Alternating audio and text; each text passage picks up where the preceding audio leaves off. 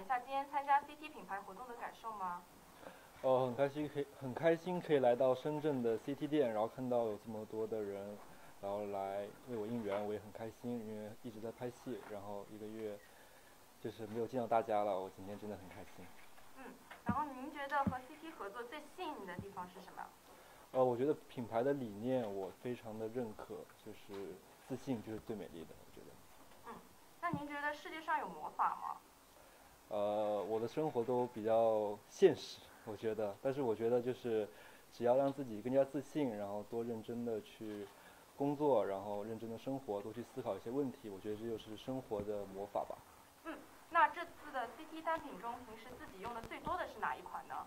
应该是蜜粉饼吧，对，因为化妆师会经常给我用，像平常补妆和上台的时候，会经常使用这一款产品。嗯，那圣诞节会怎么过呢？会有什么计划吗？圣诞节就努力工作，然后好好学习吧，然后希望大家的圣诞节都可以过得非常的温暖温馨。嗯，那年底会迎来很多节日，给你的粉丝们一些准备礼物的建议吧。我建议的就是 CT 的产品，像。呃，刚刚说的蜜粉饼，还有小红唇，还有星星盘、木星盘，这些其实都很适合在圣诞节去使用。嗯，那知道温温最近在组里拍戏，开始进军演艺界，那成为演员的初体验是怎么样的呢？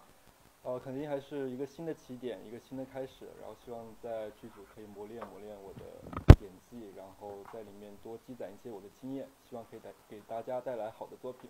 那背台词有有没有什么小秘诀呢？就。多下功夫吧，然后一开始可能背会比较慢，然后后面慢慢就开始熟练起来，就会背得很快。嗯，那接下来有什么工作安排可以跟我们稍微透露一下吗？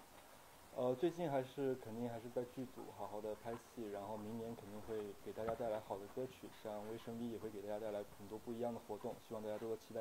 嗯，在各种节节日降临的时期，给一直以来支持你的粉丝送送上一些祝福吧。